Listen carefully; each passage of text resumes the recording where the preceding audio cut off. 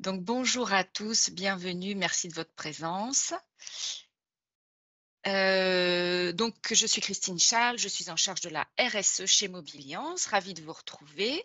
Et donc, afin d'accompagner nos adhérents, nous organisons un atelier trajectoire durable tous les derniers jeudis du mois, de 9h30 à 10h30 pour apporter euh, une expertise, une information sur un sujet, sur un thème du développement durable. Et donc aujourd'hui, euh, ce sera sur les bornes de recharge, comme vous avez pu le voir sur euh, l'invitation. Euh, vous pouvez retrouver, si cela vous intéresse, les, en replay tous les autres ateliers que nous avons déjà organisés. Ils sont sur le site de Mobiliance, disponibles pour nos adhérents. Voilà. Eh bien, écoutez, je remercie beaucoup Ulysse euh, Marion, Stéphane et nos intervenants de ce matin. Je vais leur céder la parole. Ils se présenteront eux-mêmes, ce qui sera encore plus efficace. Euh, voilà. Eh bien, écoutez, encore merci à tous et je vous laisse la parole. Je vous laisse donc partager votre présentation. Haute précision, les présentations seront également disponibles sur le site de Mobiliance. Ulysse. Voilà, et Marion. Eh bien, écoutez, merci beaucoup à tous les deux. Bonjour à tous. Est-ce que vous voyez bien notre écran et la présentation? On la voit pas mal. Elle est un petit peu floue, mais il y a peut-être un petit ah. problème de connexion, mais on la voit. Voilà, oui, oui, on la voit. C'est bon là. On va essayer de se mettre en plein écran. Ça devrait être bon. Écoute, pas encore. Chez moi. Vous voyez pas le plein écran? Pas en plein écran en tous les cas. Il faut peut-être départager, arrêter le partage et repartager en plein écran. Excusez-nous. C'est les soucis du direct. Voilà. Ça arrive.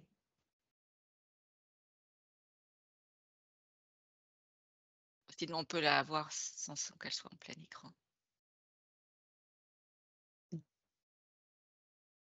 Du coup, j'en profite. Si vous avez des questions au cours de la présentation, bah là, c'est parfait. Au cours de la présentation, voilà, n'hésitez pas soit à lever la main ou à mettre la question dans le chat si vous préférez, à vous de voir.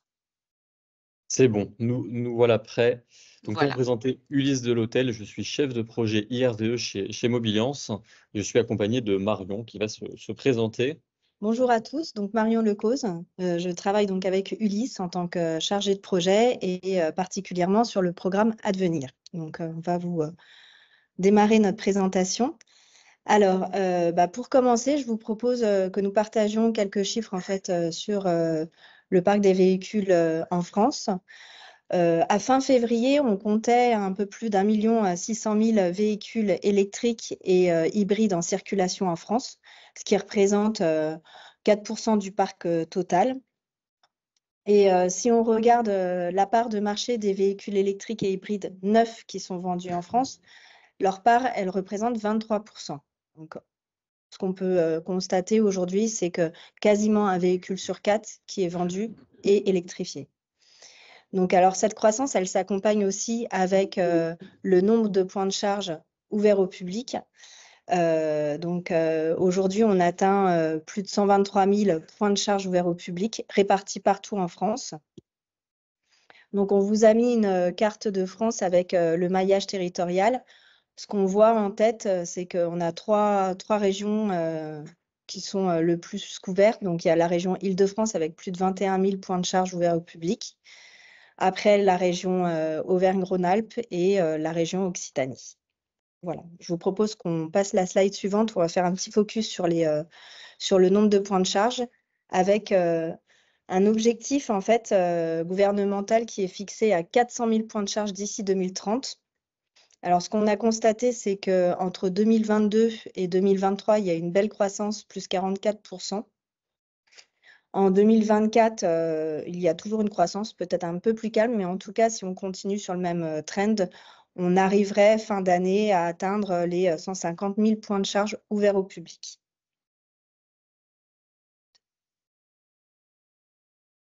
Alors là, euh, je vous propose en fait de regarder un petit peu la projection euh, du parc de véhicules électriques. Euh, donc ça, c'est une étude qui a été faite, It's the Road, qui a été publiée en septembre 2023. Donc vous pouvez la retrouver sur le site de l'AVER notamment.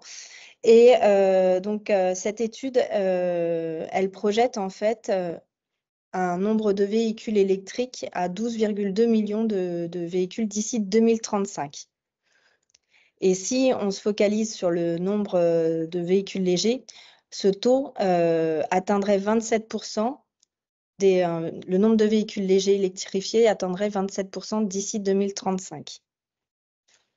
On va peut-être passer sur la slide suivante. Alors, je continue. Euh, si on regarde en fait de façon plus globale et qu'on regarde avec les différentes motorisations, on voit qu'aujourd'hui, la part du diesel et des essences en fait bah, couvre quasiment la totalité du marché. mais voilà, même si en fait aujourd'hui la part des diesels décroît un peu, ça reste majoritaire avec l'essence. Et avec les différentes réglementations, les normes café euh, qui vont euh, justement, il y a différentes euh, étapes qui imposent en fait la réduction des émissions de gaz à effet de serre d'ici 2025 à 80, 2030, 59 et le Fit for 55 d'ici 2035, avec aussi la fin de la vente de véhicules thermiques d'ici 2035. On voit que la part des des euh, véhicules gazole et essence euh, bah, décroît euh, pour laisser la part à l'électrique et à des véhicules hybrides rechargeables et hybrides qui attendraient d'ici 2036 environ 40% du marché. Est-ce que vous avez des questions par rapport à ces différents schémas et ces différents scénarios proposés?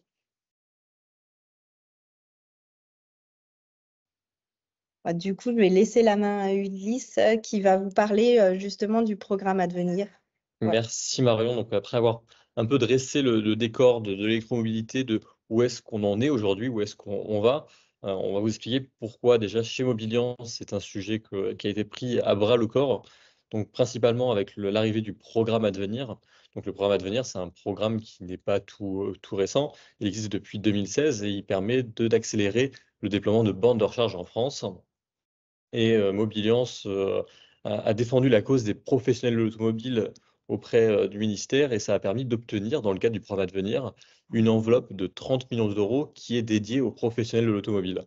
Donc ça, c'est un, partenariat qui a été fait du coup entre l'Aver France qui porte le programme venir et Mobiliance en juillet 2022 et qui a permis donc d'avoir un budget de 30 millions qui est uniquement dédié aux professionnels automobiles, avec une partie qui permet le financement de bornes de recharge et une partie euh, pour financer des formations. On vous en parlera un peu, un peu plus tard. Donc sur, euh, sur les professionnels d'automobile concernés, il faut être, pour être éligible, il faut que son code APE, son activité soit dans la liste que vous voyez à l'écran. Et après, surtout, l'information importante à retenir, c'est que ce plan euh, se prolonge jusqu'à fin 2025. Donc là, on est à, peu près à la moitié du programme. Ça fait un peu plus d'un an et demi qu'il a été lancé. Euh, il reste un an et demi encore pour se saisir et euh, lancer ces démarches euh, pour obtenir des financements dans, ce cadre, dans le cadre du programme à venir. Ulysse, ah. s'il y a des professionnels qui ne sont pas dans ces codes APE, comment ça se passe? Par hasard, si.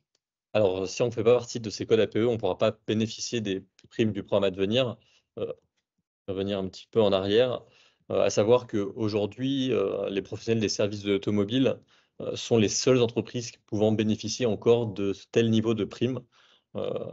avant, certaines d'autres entreprises pouvaient bénéficier des primes, mais depuis l'année dernière, plus aucune entreprise peut bénéficier des primes. Donc, les professionnels d'automobile sont les seuls à pouvoir encore bénéficier de financement pour leurs points de charge privés ou publics.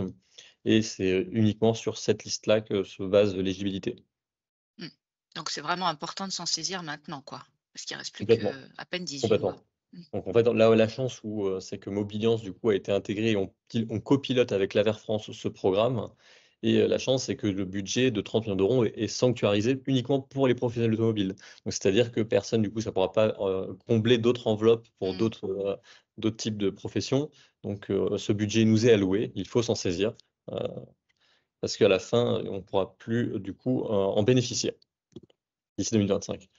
Avant que je vous détaille un peu sur, sur les primes, je voulais déjà vous rappeler un petit peu, un peu de vocabulaire et un peu de, différenciation au niveau des bornes de recharge. Donc, pour les bornes de recharge, on distingue deux usages principaux. Les bornes de recharge sont soit dites ouvertes au public, soit à usage privatif. Donc, lorsqu'on parle d'une borne ouverte au public, c'est une borne qui est accessible à tout le monde, qui est mise à disposition du grand public. Elle peut, se situer sur un espace privé, sur un parking privé, mais simplement, si on la considère ouverte au public, elle sera déclarée sur les applications, sur les plateformes d'interopérabilité, et on pourra rechercher, n'importe quel utilisateur pourra rechercher ces bornes. à savoir qu'une borne, pour être considérée ouverte au public, ça, expliquera aussi ensuite ce que vous pouvez vous installer dans, vos, dans vos établissements. Pas parce qu'une borne est, ouverte au public et déclarée ouverte au public qu'elle doit être accessible 24 heures sur 24. Typiquement, euh, vous avez un, parking, le parking de votre concession, je prends un exemple, et euh, est fermé la nuit. Vous installez une borne qui est accessible à tout le monde. Si votre parking est fermé la nuit, c'est tout à fait normal que la borne ne soit pas accessible sur ces plages horaires-là. Donc, ce n'est pas un facteur limitant euh, si la borne n'est pas accessible 24-24. Simplement, sur les horaires d'ouverture, d'accessibilité de la borne, il faut qu'elle soit accessible à tout le monde. Souvent, on parle d'un accès non discriminatoire, c'est-à-dire que moi, si je passe devant votre établissement, il faut que je puisse pouvoir me garer, me, garer et me brancher sur la borne. C'est-à-dire, il ne faut pas qu'il y ait un véhicule qui soit stationné sur l'emplacement ou qu'elle soit réservée uniquement à vos clients. Et ensuite, le second usage, c'est la borne dite à usage privatif. Donc, c'est une borne qui va servir soit pour vos véhicules, les véhicules de vos salariés, les véhicules de vos clients. ça peut être une borne qui sert à fournir un, service à, vos clients. Euh, la borne à usage privatif, c'est pas parce qu'elle a usage privatif qu'on ne peut pas facturer. On pourra aussi facturer des recharges sur les bornes à usage privatif. Simplement, elle ne sera pas référencée dans le catalogue ou dans les 123 euh, 000 points de charge que vous présentez, euh, Marion, tout à l'heure, accessibles en France. Accessible à tous en libre service, en fait, c'est la différence. C'est tout public, n'importe qui qui veut peut venir s'y mettre, voilà, et les autres, Exactement. Et puis la petite particularité pour les professionnels automobiles, euh, si on a, on a le besoin d'avoir une bande de recharge dans son atelier euh, ou dans une aire de maintenance, une aire de démonstration, euh, ça rentre dans ce cadre-là et ça pourra être financé par le programme à venir. Donc voilà sur les deux principaux usages des bandes de recharge. Le, deuxième point que je voulais aborder avec vous, c'était un petit peu de, un petit peu de sémantique autour de, la bande de recharge. Donc souvent on parle de bande de recharge, de point de charge, de station de recharge. Pour faire un peu la différence entre tout ça, il y a un petit schéma là sur, sur la slide, comme vous pouvez voir, où l'on voit une station de recharge, donc un ensemble de bandes de recharge. Donc la station de recharge, c'est le lieu où on va venir se recharger, avec trois bandes de recharge et six points de charge en fait, quand on parle de borne de recharge, c'est euh, l'élément physique qui permet de recharger les véhicules. Et le point de charge, ça correspond à un point de connexion permettant de recharger un véhicule. Et là où c'est important de faire la différence entre la borne de recharge et le point de charge, c'est qu'une borne de recharge peut disposer de plusieurs points de charge. Souvent, on a l'habitude de voir des bornes dites doubles, donc on peut recharger deux véhicules en même temps sur la même borne, et c'est considéré comme deux points de charge. Donc voilà, sur ce petit point de, sémantique, ça serait important euh, par rapport à la slide d'après, parce que maintenant on en vient euh, au financement disponible pour vous, professionnels automobiles, lors de l'installation de bornes de recharge. Donc les primes se distinguent en deux grandes catégories, selon les deux grands usages des bornes de recharge, donc soit pour les points de charge ouverts au public ou les points de charge à usage privatif. Donc si vous décidez d'installer une borne qui sera accessible euh, au grand public, vous pourrez bénéficier euh, jusqu'à 50% euh, de primes avec des plafonds euh, qui varient en fonction de la puissance des points de charge. Et là où je dis que c'était important de faire la différence entre un point de recharge et une bande de recharge, c'est qu'ici, vous pouvez voir, les primes sont par, par, point de recharge. Donc, c'est-à-dire que si vous installez une borne avec deux points de charge, vous pouvez cumuler deux fois la prime.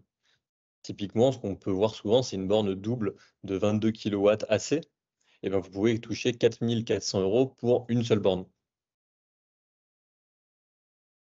Ensuite, pour les points de charge euh, dits à usage privatif, donc euh, à destination de flotte ou salariés, ou les autres usages que j'ai pu vous décrire euh, tout à l'heure, on est sur une, prise en charge moindre, on est à 25% du montant total de l'installation, avec un plafond à 750 euros par point de charge. Donc quand je parle de montant total d'installation, ça comprend l'achat de la borne, mais aussi les frais d'installation et euh, une partie du génie civil euh, qui sera engagée. Voilà, sur, au niveau des montants que vous pouvez bénéficier, en tant que professionnel automobile. Ensuite, pour pouvoir bénéficier de ces primes, il faut réponde à un certain, certains critères. Donc déjà, le premier critère, c'est que votre installateur soit labellisé à devenir. On pourra en reparler tout à l'heure.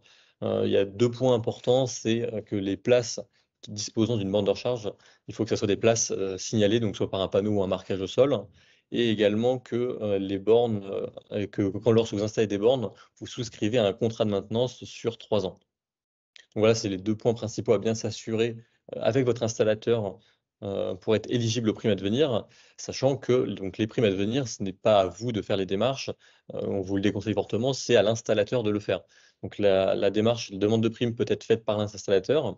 Donc vous, quand vous lancez votre projet, le plus important, c'est de bien expliquer à votre installateur que vous êtes un professionnel automobile, que vous bénéficiez de primes, que vous pouvez bénéficier de primes, et que lui l'intègre dans son calcul lorsqu'il fera son devis, de bien prendre en compte le fait que vous pouvez toucher des primes. Après, la seule discussion que vous pourrez avoir avec l'installateur, c'est euh, qui reçoit la prime.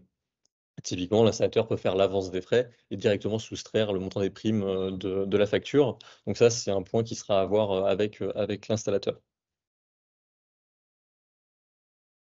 Maintenant, on va faire un petit point chiffre. Marion va revenir encore sur, sur des chiffres. C'est l'experte euh, entre nous euh, des chiffres par rapport au, à ce qui a été déployé chez les professionnels depuis le début du programme. Oui, alors tout à l'heure, je vous parlais en fait du nombre de points de charge euh, total déployés en fait sur toute la France. Là, on va parler des points de charge qui ont été financés grâce au programme à devenir.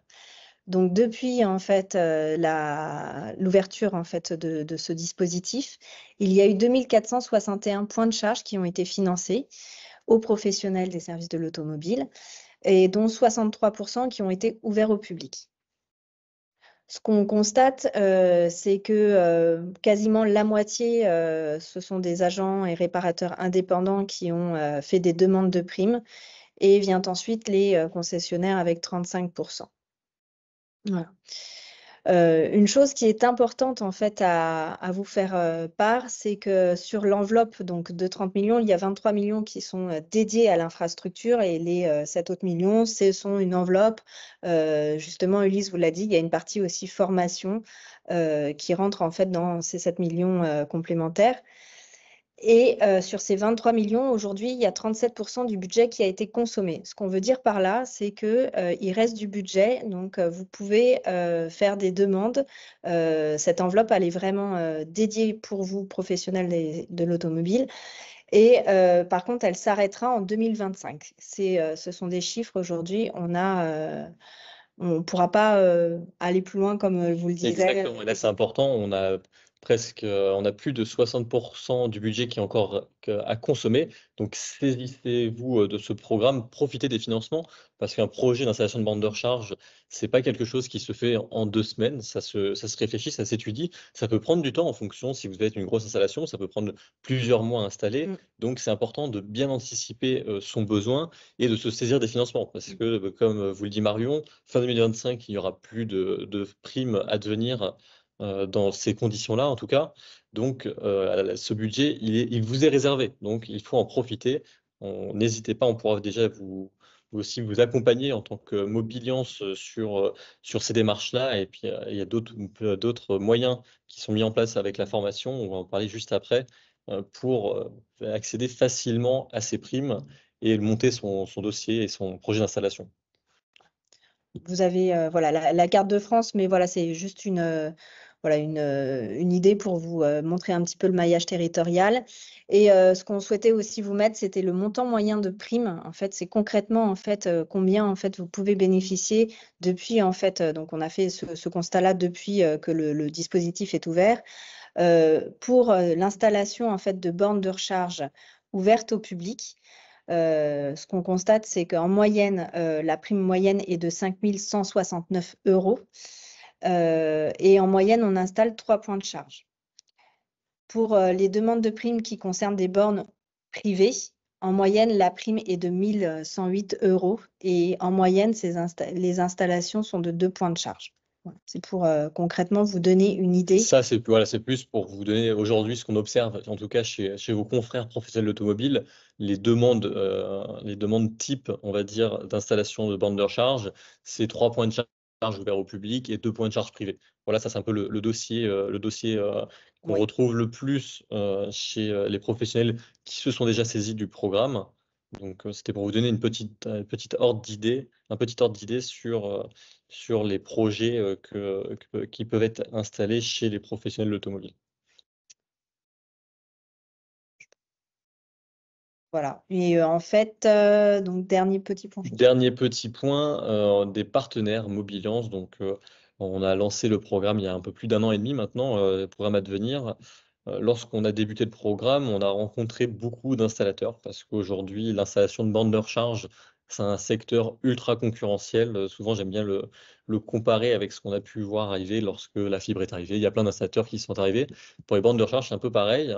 Et donc, l'idée, nous, quand on a rencontré la majorité des installateurs aujourd'hui euh, en France, euh, c'était de pouvoir euh, conseiller aux adhérents Mobiliance des installateurs capables de fournir des solutions clés en main. Pour nous, le plus important, c'était de pouvoir vous aiguiller sur des, entreprises ayant pignon sur rue et capables de monter vos projets de A à Z. Et c'est là où c'est le plus important, c'est que de s'entourer d'un installateur qui est capable de s'occuper de l'ensemble des démarches que ce soit du départ de l'étude technique jusqu'ensuite, une fois que la borne est installée, s'assurer qu'il y ait un service après-vente et qu'il puisse faire la maintenance de ces bornes. Donc, ça a été le critère de choix par Mobiliance pour certains installateurs. Donc, on a décidé de référencer des installateurs et des opérateurs de bornes de recharge. Donc, il y a trois installateurs, EasyVia, Mabornoto et Watt, qui ont été référencés par Mobiliance. Watt, que vous pourrez entendre tout à l'heure et qui pourra vous partager aussi un petit peu de leurs expériences et trois opérateurs ChargeMap, ChargePoint et FreshMile. Donc, euh, vous pourrez retrouver l'ensemble de ces informations sur le site Mobiliance. Il y a tous les détails, que ce soit les contacts pour euh, ces installateurs, les opérateurs, mais aussi sur euh, les, caractéristiques des primes pour les bandes de recharge. Donc, on vous enverra la présentation de toute manière à la fin et tous les liens pour que vous puissiez retrouver les informations. Et on a aussi une adresse mail dédiée donc, surtout, ce qu'on vous conseille de faire, c'est de nous, si vous vous posez encore des questions, si vous avez besoin, vous n'êtes pas sûr de ce qu'on vous a conseillé, vous avez des devis en attente, vous avez des problématiques dans votre, lorsque vous installez, si vous, il y a des blocages, que ce soit avec Advenir ou votre installateur, remontez-le nous. On est avec Marion, on vous est dédié sur le sujet, on est là pour vous aider. Donc, n'hésitez surtout pas à nous contacter, à nous remonter vos éventuelles problématiques à ce sujet ou si vous avez besoin de quelques éclaircissements. Est-ce que vous avez une adresse mail Tout à fait. Donc, c'est borne au pluriel mobiliance.fr, donc B-O-R-N-E-S mobiliance.fr. On vous remettra bien évidemment tous les contacts euh, à l'issue de la réunion. Voilà, je mets borne mobiliance.fr, hop, dans le chat. Ben, merci beaucoup à tous les deux. Merci. Merci à vous. De toute façon, vous restez dans le coin si jamais il y a besoin. Et donc, on va, je vous propose, enfin, sauf s'il y a d'ores et déjà des questions. Mais sinon, je vous propose donc que Stéphane puisse prendre le relais. Merci d'arrêter votre partage, voilà, pour que Stéphane prenne le relais. Et merci beaucoup, Stéphane. Je te laisse te présenter, Stéphane.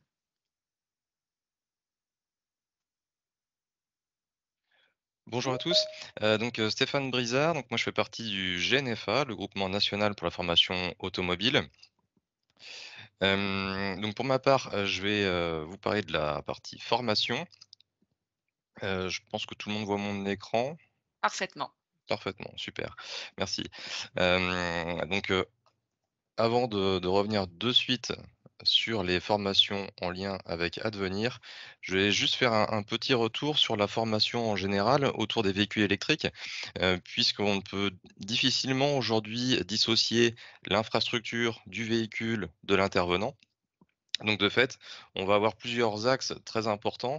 Euh, la notion d'habilitation, la partie plus technologique, évidemment les infrastructures en lien avec Advenir, et puis enfin, on verra comment s'inscrire dans ces formations pour que vous puissiez vous former vous-même et former vos salariés. Donc concernant les habilitations, je fais apparaître ici à l'écran les, je dirais, les, principales habilitations aujourd'hui déployées sur le, dans, les affaires. le premier niveau que vous voyez à gauche de l'écran, c'est un niveau averti. Donc là, on n'est pas encore dans l'habilitation, on est sur un premier niveau de formation qui va permettre d'avoir une maîtrise des risques électriques et de savoir justement analyser ces risques. C'est vraiment le premier niveau. Ensuite, on va avoir l'habilitation B0L qui va plutôt concerner les intervenants qui vont réaliser de l'entretien et un premier niveau de maintenance. Donc là, on sera sur une, formation présentielle d'une journée. on verra ensuite l'habilitation qui va accumuler plusieurs symboles avec le B0L, le BCL, le B2L, le B2VL. Donc là, on est sur une formation présentielle de deux jours, donc un petit peu plus longue, mais en, pour faire très simple, c'est l'habilitation pour l'atelier par excellence, puisqu'elle permet à un technicien d'être autonome en réalisant aussi bien des interventions mécaniques que des interventions électriques, tout en pouvant sécuriser un VE. Et puis, autre formation que vous voyez tout à droite de l'écran, qui concerne l'habilitation B2TL. Donc, ce niveau B2TL va permettre eh bien, d'intervenir dans les packs batteries. Donc, une nouvelle activité qui arrive dans, les ateliers et que l'on voit de, plus en plus présente. Donc là, je fais apparaître surtout les, niveaux d'habilitation qui concernent la, réparation, donc l'atelier, à savoir qu'il existe tout un tas d'autres habilitations que ce soit pour le dépannage remorquage, que ce soit également pour les, pour les recycleurs. Donc chaque métier va avoir son, niveau d'habilitation. Donc ça, c'est le, premier sujet qui est, bien, qui est important à avoir en, tête, puisqu'il faut avoir des habilitations pour intervenir sur ces nouveaux véhicules. Pour autant, être habilité ne va pas forcément être suffisant pour pouvoir intervenir sur les véhicules et développer vos activités. Donc du coup, c'est pour cela que l'on a une part de technologie, puisque être habilité, c'est comme je le disais essentiel, ça permet de se prémunir des risques électriques, ça permet de savoir ce que l'on peut faire et surtout ce que l'on ne peut pas faire. mais au-delà de ça, savoir entretenir un véhicule, le réparer et le diagnostiquer, ça demande à, développer de nouvelles compétences et d'adapter de fait les compétences que l'on va avoir sur un véhicule thermique vers un véhicule électrique ou hybride. Donc ici, vous voyez à l'écran trois formations. La première tout à gauche, un présentiel en deux jours, qui répondra aux besoins de personnes qui vont réaliser des, entretiens et un premier niveau de, réparation. Donc ça permet de, bien identifier, de découvrir tous les éléments de la chaîne de traction, de leur rôle et, de, clairement, d'un point de vue atelier, comment entretenir son véhicule. La formation présenté au milieu de l'écran. Donc, on est sur un présentiel en deux fois deux jours, donc quatre jours de formation, beaucoup plus pointu, beaucoup plus poussé, euh, qui va permettre d'aller jusqu'à la maintenance et au diagnostic des véhicules électriques et hybrides. Et puis enfin, tout à droite, donc ça c'est un peu plus récent, c'est encore pour le moment peu présent sur le marché, mais sachez que ça existe, euh, le véhicule équipé de, de piles à combustible, donc véhicule hydrogène. Donc, nous proposons également des, une formation sur ce, sujet-là. Et, bien d'autres que je vous invite à découvrir dans notre catalogue. et je vous dirai tout à l'heure comment le, retrouver. Une fois que l'on a pris ces notions techniques, on va pouvoir aller du coup vers la notion d'infrastructure, puisque comme je le disais, tous les éléments sont importants, que ce soit l'habilitation, la technologie et l'infrastructure, tout est lié. Et donc, dans le cadre du programme Advenir qui vous a été présenté précédemment par euh, Marion et Ulysse, eh bien, il y a également euh, une enveloppe disponible pour prendre en charge votre formation, et ça pour différents euh, profils. Sur la partie gauche de l'écran, première formation qui est proposée, un webinaire pour les chefs d'entreprise pour vous aider justement à, identifier le, type de borne que vous pourriez mettre dans vos affaires, mmh, le, nombre également de bornes que vous pourriez mettre dans vos affaires, comment y accéder, et ainsi de suite. Donc l'idée, c'est vraiment de vous guider dans la démarche pour que vous puissiez accéder au financement et donc mettre en place le modèle de, de borne et le modèle économique qui vous correspond le mieux. Donc là, on est sur une formation de deux heures qui est totalement gratuite puisqu'elle est prise en charge dans le cadre du projet à venir. Seconde formation, donc cette fois-ci c'est une formation en présentiel d'une journée. Quelle recharge pour quel client? L'idée ici c'est d'accompagner toutes les personnes en relation client sur cette thématique. Puisqu'aujourd'hui, dans les affaires, les gens vont être très généralement formés sur les nouveaux modèles de véhicules qui, vont sortir. Donc on va vraiment avoir une orientation véhicule, mais pas infrastructure. Et comme je le disais tout à l'heure, tout est lié. Donc on a vraiment ce, besoin d'avoir une connaissance globale pour pouvoir être à l'aise et conseiller au mieux les salariés. Donc c'est pour ça qu'on a mis en place cette formation. Et donc, ça permettra d'identifier le, enfin, ça vous aidera à identifier le besoin client dans le cadre de son électromobilité et également de le, conseiller sur ce qu'il pourrait avoir besoin comme option sur le véhicule qu'il souhaite acheter, dans le cadre d'un achat de véhicule, par exemple. Hein. Exemple tout simple, sur beaucoup de véhicules électriques aujourd'hui, on va avoir un chargeur embarqué d'origine monté sur le, véhicule. Et en option, on peut très bien avoir un chargeur plus puissant, par exemple. Mais encore une fois, ce sera intéressant uniquement si les bornes que vous allez utiliser sont compatibles avec ce type de chargeur. Donc l'idée, c'est vraiment d'être capable de conseiller au mieux et très finement en fait, son client. Donc on vous donnera toutes les clés dans cette formation. Et puis, formation également gratuite hein, dans le cadre du programme Advenir. Et puis, troisième formation, cette fois-ci pour les techniciens, pour une sortie en septembre 2024. Donc là, aujourd'hui, nos équipes sont en cours de création de, ce module-là et il sera déployé à partir de septembre. et de la même manière, l'idée va être d'accompagner les profils de techniciens pour entretenir, diagnostiquer les, véhicules, la partie recharge et être capable de faire le lien entre l'installation, la borne et le véhicule. On ira dans ce cadre-là jusqu'au diagnostic du système de recharge. Hein, donc avec le, type de l'analyse des communications entre bornes, bornes et véhicules. Donc là, c'est mmh. pareil, ce sont des choses qui ne sont pas forcément vues dans les formations techniques en lien avec les nouveaux produits de marque. Alors pour vous donner un petit aperçu de ce que sont ces formations, je vais vous présenter une, petite vidéo qui concerne le module Quelle recherche pour quel client à destination des conseillers clients. A tout de suite.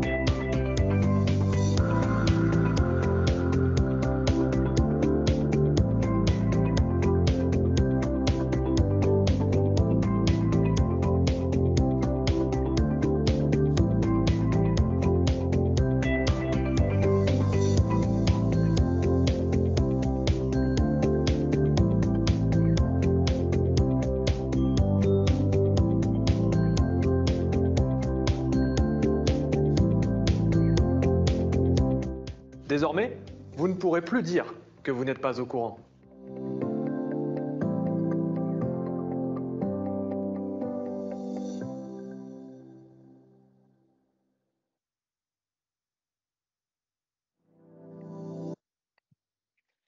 Bien.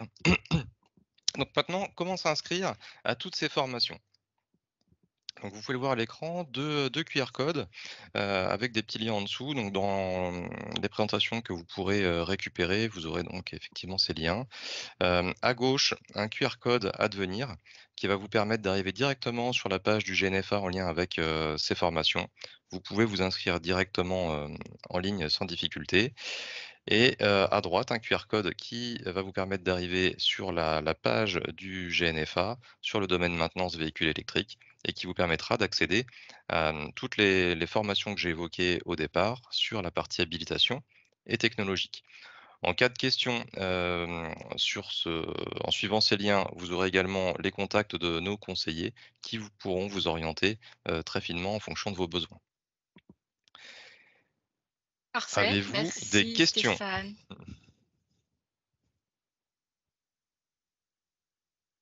En fait, c'est très très clair, donc. Euh, Pas de questions.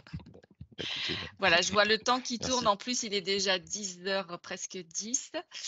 Merci infiniment Stéphane. Euh, oui, des formations, je crois que le panel est vraiment très complet. Il y a tout, tout est, possible avec une partie gratuite grâce à Advenir et puis les formations GNFA avec aussi des possibilités de prise en charge. Donc voilà, vraiment le panier, euh, l'offre catalogue est très très complète. Donc saisissez-vous de tout cela pendant que, que, que vous en avez l'opportunité et qu'il y a des financements.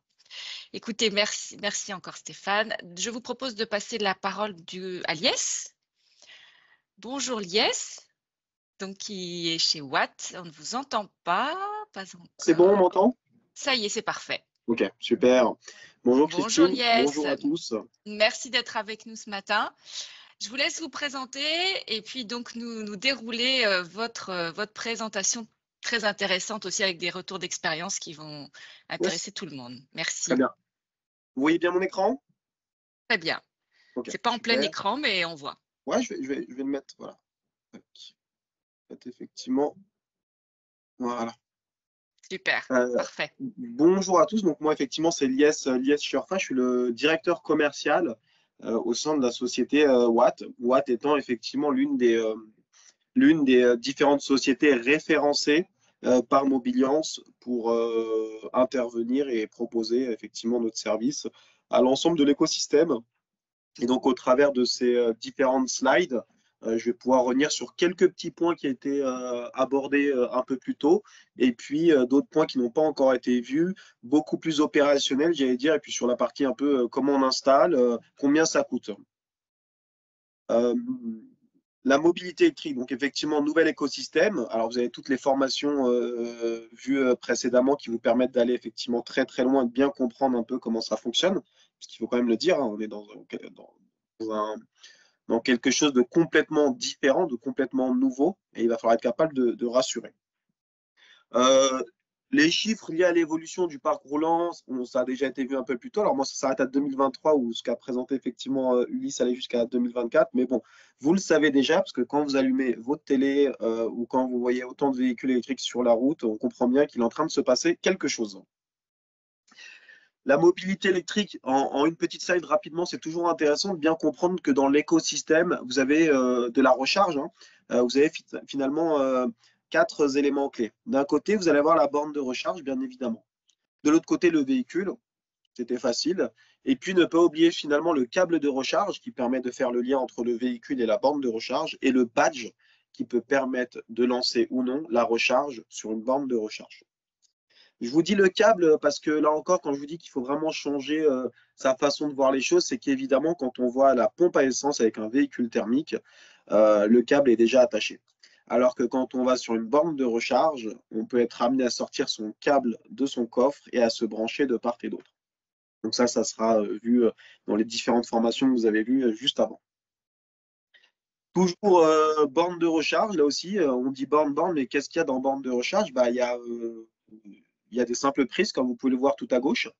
Une simple prise qui euh, finalement euh, coûte pas très cher à être installée, qui euh, permet de recharger, alors de recharger lentement, donc un plein qui peut prendre beaucoup, beaucoup de temps, sachant que ce même plein est fonction du véhicule hein, et de sa batterie.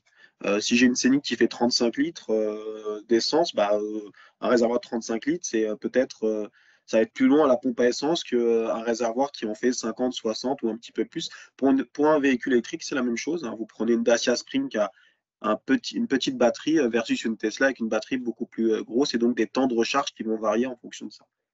Tout à gauche, la prise, très basique, pas cher. Au milieu, ce qu'on retrouve de plus en plus, c'est la borne de 3,7 à 22 kW, hein, celle que vous voyez là. Euh, celle qui s'installe un petit peu partout, que ce soit en voirie publique ou euh, en privé. Euh, on parlait d'atelier tout à l'heure, c'est un, bon exemple. Et puis à droite, vous avez ce qu'on appelle la charge rapide. La charge rapide sur les autoroutes, typiquement. C'est ce qu'on va retrouver qui peut permettre de faire le plein finalement en très peu de temps. Alors, très peu de temps, parce que ça peut quand même être 15, 20, 30 minutes pour, faire le plein.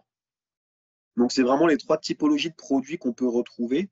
L'enjeu étant euh, de voir l'usage et les besoins pour pouvoir mettre soit une simple prise, euh, une borne euh, alternative de 3,7 à 22 kW ou des charges beaucoup plus puissantes.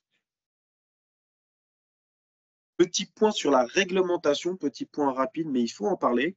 c'est l'une des raisons pour laquelle on est sur ce webinaire. Hein, c'est une réglementation favorable. Moi, j'aime dire même une marche forcée vers l'électrification du parc automobile tout en relativisant bien évidemment, parce qu'on a dépassé le million de véhicules euh, électriques sur un parc automobile français qui en fait euh, euh, quasiment 40 millions.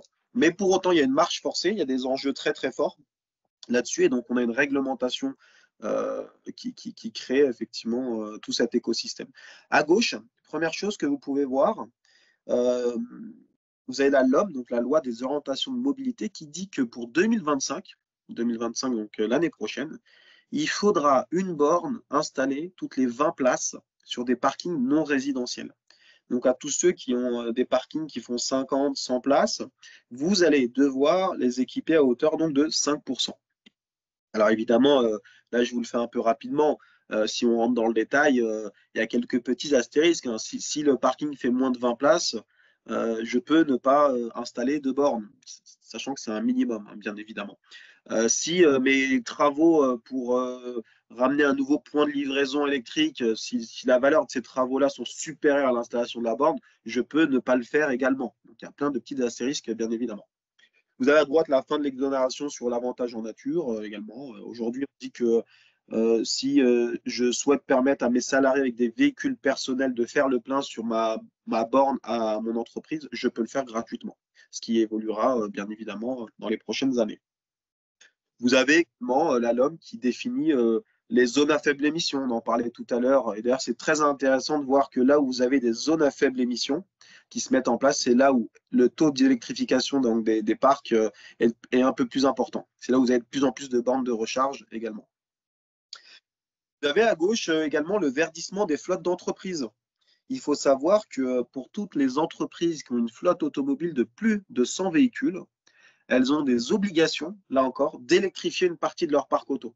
Donc, dans le cadre de leur renouvellement, euh, sur 2024, on parle de 20%, 40%, 70%. Et donc, euh, voilà, j'allais dire que l'histoire est assez écrite euh, là-dessus sur cette fameuse électrification, cette marche forcée vers, vers, les, voitures électriques et donc, et donc les bornes de recharge. Si on pouvait se passer des bornes de recharge, je pense que beaucoup s'en passeraient, mais malheureusement, une voiture électrique, il n'y a pas le choix, il faut la recharger.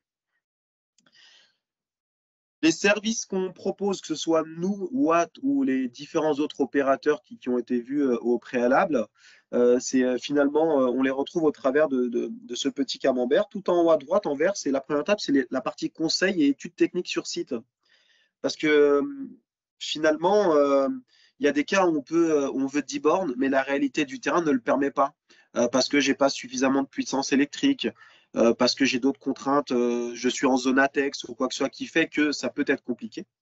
Donc, première euh, finalement proposition de valeur, c'est de venir vous rencontrer et de vous accompagner sur votre besoin, votre réflexion et l'étude physique sur site. Puis, effectivement, remettre l'offre commerciale, technique, avec les différentes subventions qui ont été vues donc, au préalable. Ces mêmes subventions qui sont fonction de si la recharge est euh, temps public, accessible au public, c'est-à-dire que tout le monde peut venir se brancher ou si c'est pour un usage 100% euh, privé. Donc ensuite, réaliser tous les travaux, fournir le bon produit. Donc le fameux bon produit, euh, c'est autant la marque modèle que est-ce que j'ai besoin de charge lente, la petite prise, la borne de recharge classique ou le superchargeur. Et à partir du moment où on a fait ça, on rentre dans un second monde qui est plus celui des travaux, mais qui est celui du service. Parce que finalement, les opérateurs de recharge, les installateurs vont vous proposer des outils qui vont permettre de connecter vos bornes de recharge et de leur apporter tout un tas de services. Je vous en parlerai après juste avec quelques cas d'usage euh, euh, hyper concrets, vous allez y voir euh, l'intérêt. et puis effectivement, la gestion des flux de facturation, mise à disposition de badge, le fameux badge qu'on a vu un peu au-dessus, qui peut permettre de se brancher sur des bornes autres que, les siennes, des bornes en voie publique. Donc ça, euh, au travers de cette slide, vous avez un peu euh, finalement euh, toute la proposition de valeur d'une société comme la nôtre ou d'autres, hein, c'est-à-dire du, clé en main. Schéma d'une installation type. Donc je vous disais un petit peu plus concret, une installation type, c'est quoi? Ça démarre finalement, là vous avez tout à gauche le petit compteur Linky hein, ici. Ça peut être un compteur Linky ou ça peut être ce qu'on appelle un tarif jaune sur des sites où vous avez des besoins en puissance un peu plus importante. Ce compteur Linky là, on n'y touche pas, mais on va voir si vous avez de la puissance ou non. Si vous n'en avez pas, il va falloir faire euh, tout un tas de, euh, de, comment dire, vous allez devoir en fait solliciter Enedis, qui est le gestionnaire de réseau de distribution en France, pour pouvoir augmenter cette puissance. Donc ça peut prendre du temps. Dans certains cas, on parle de 6 à 9 mois.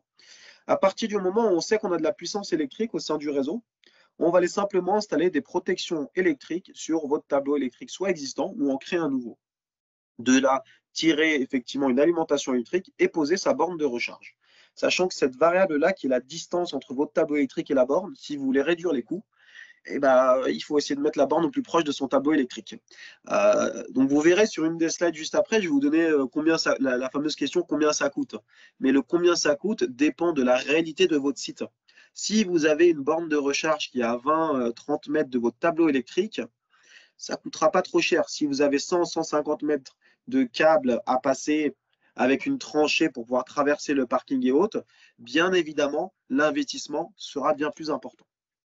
Donc vous avez le, et puis vous avez le câble de recharge, bien évidemment, celui qui permet de faire le lien entre le véhicule et la bande de recharge. Est-ce que vous avez des questions? N'hésitez pas hein, si vous en avez. On attend la suite et les témoignages. Il nous reste une vingtaine de minutes, Lies, juste pour, euh, pour mémoire. très bien. Ça passe très, vite. Merci, c'est intéressant. Mais voilà, merci. Budget. Euh, budget, budget, budget, c'était là, c'était finalement l'étape d'après, c'est combien ça coûte? Et alors là, vous voyez tous le à partir de. Je suis un peu provocateur avec cette slide parce que je vous mets à partir de 2500 euros. Mais c'est comme je vous le disais tout à l'heure, c'est euh, est-ce que vous voulez une borne rapide, une borne lente? Est-ce que votre borne sera à 100 mètres ou à 30 mètres de votre, euh, de votre tableau électrique? Donc il y a énormément de variables qui font euh, finalement le combien ça coûte. Grosso modo, là, le 2500 euros qu'on vous met ici, c'est pour une borne de 7 kW. Donc, je récupère à peu près 50 km d'autonomie par, par heure. et puis, si la borne est plus puissante ou il y a plus de distance de câble, ça va coûter bien évidemment plus cher. Donc, il y a plusieurs solutions, modèles économiques qui existent. Soit vous achetez votre borne, soit vous partez sur des solutions de leasing. Donc, on passe de, du 2500 euros à, un loyer euh, mensuel sur une durée qui est à définir.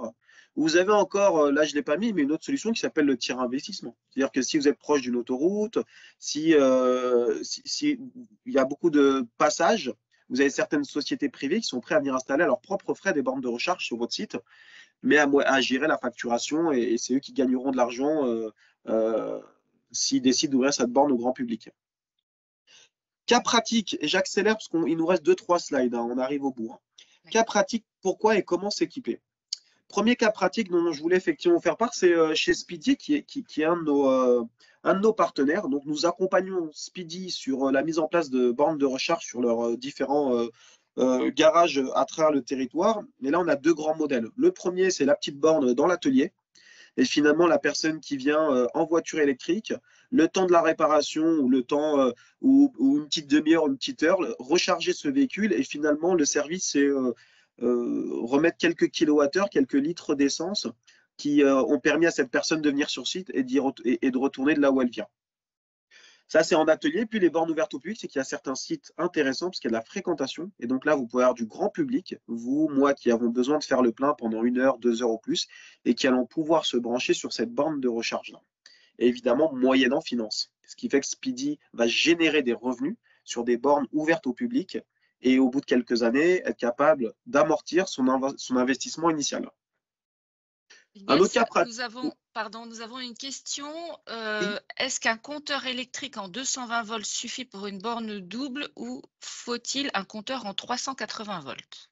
Oui, très bien. Ça dépend, euh, ça dépend effectivement. Euh, si vous êtes en 220, c'est que vous êtes en monophasé. Et là, vous, vous pouvez installer des bornes de recharge en monophasé. Donc, c'est possible. Hein. pour autant, dès que vous voulez mettre deux, trois bornes de recharge, votre compteur ne suffira pas. Et il faudra à ce moment-là soit augmenter votre compteur, donc le passer en triphasé, ou créer un nouveau compteur électrique. Donc 220 volts, c'est vous allez mettre une borne maximum euh, et encore. Si vous voulez en mettre plusieurs, là effectivement, vous n'allez pas avoir le choix que de euh, passer en triphasé, sachant qu'il existe euh, là, je n'ai pas le temps évidemment de, de, parler de tout, mais vous avez des systèmes qui vont délester la borne au profit de votre installation. Exemple, le pont élévateur est en train de monter, il y a un appel de puissance, bah, la borne, elle va réduire sa puissance à l'instant T. Quand le pont euh, est redescendu ou ne tire plus euh, d'électricité, la borne va se remettre à une puissance bien supérieure. Ok, merci. De rien. Euh, second cas pratique, Buy My Car, réseau de distribution automobile. Alors eux, ils ont fait un déploiement sur leur concession, tout simplement parce que bah, il y a de plus en plus de voitures électriques et il fallait équiper les ateliers, showroom, pour être capable de montrer aux clients qui souhaitent acquérir un véhicule électrique, à quoi ressemble la borne, comment ça marche, et puis les différents emplacements pour VN, VO.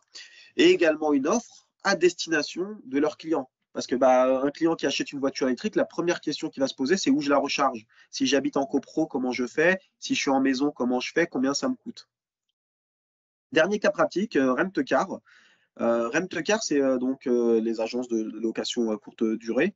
Et, ils ont vu une opportunité business, effectivement, sur certains sites de rendre cette borne de recharge accessible au public, parce que parking ouvert 24-24, 7-7 et finalement d'aider à atteindre les centaines de milliers de bornes de recharge publiques que l'État demande.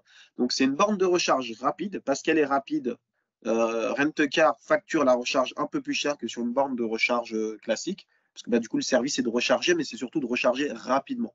Et donc là, on a tout un accompagnement pour aider à finalement amortir l'investissement initial. Et donc là, on parle d'une pompe à essence électrique, hein, euh, tout simplement. Ma dernière slide, c'est finalement les différentes questions à se poser pour mener à bien un projet d'installation de borne de recharge. Et là, vous en avez tout un tas de questions. C'est euh, effectivement au niveau du déclencheur, c'est les contraintes, contraintes de puissance électrique. Vous l'avez évoqué, monsieur ou madame, juste avant, le fameux 220 volts. C'est euh, la réglementation, qu'est-ce qu'elle m'impose? Au niveau du business model, euh, est-ce que euh, c'est juste pour recharger mes véhicules qui sont en atelier ou est-ce que je souhaite en faire tout un business en facturant la recharge et en devenant cette fameuse pompe à essence électrique? Bref, c'est tout un tas de questions à se poser. Effectivement, vous avez tout un tas d'acteurs, dont Mobiliance, pour être capable de vous accompagner là-dessus. Vous avez euh, mes coordonnées, mais euh, comme l'a dit Ulysse un peu plus tôt, il y a également une adresse mail qui a été mise dans le chat, donc n'hésitez pas à passer par Mobiliance, qui effectivement nous solliciterons euh, par la suite. Voilà, voilà, c'est tout pour moi. Merci Lies. Y a-t-il des questions? D'autres questions? Non, a priori pas. Euh, écoutez, moi je suis euh, possesseur d'une voiture électrique et c'est vrai que le sujet de euh, comment on se connecte aux bornes et comment on paye, etc., est un vrai sujet. Est-ce que vous, Lies, vous avez un petit témoignage ou quelque chose à nous apporter sur ça? Bah, Disons que c'est un changement de paradigme, comme on disait tout à l'heure. Et donc ça demande un accompagnement sur mesure, clairement, sur la bonne façon de faire. Et, en fait, vous avez plein, plein de freins. Il y en a énormément. Et il faut être capable de les lever au fur et à mesure. C'est euh, quel véhicule, l'autonomie, est-ce que je peux me brancher chez moi? Est-ce que je peux me brancher sur mon lieu de travail? Est-ce que j'ai une carte qui me permet d'avoir mhm. accès à des bornes de recharge publiques Donc, c'est mhm. plein, plein de questions. Et donc euh, là, il faut être capable de se faire accompagner. Pour se faire accompagner, il faut passer par des, effectivement des sociétés spécialisées. Parce qu'aujourd'hui, vous êtes quand même sur un marché où euh, il y a tout le monde qui voit la borne de recharge comme un Eldorado au risque de faire un petit peu n'importe quoi. Donc, mmh. euh, l'importance du professionnel, euh, du professionnel. Très bien.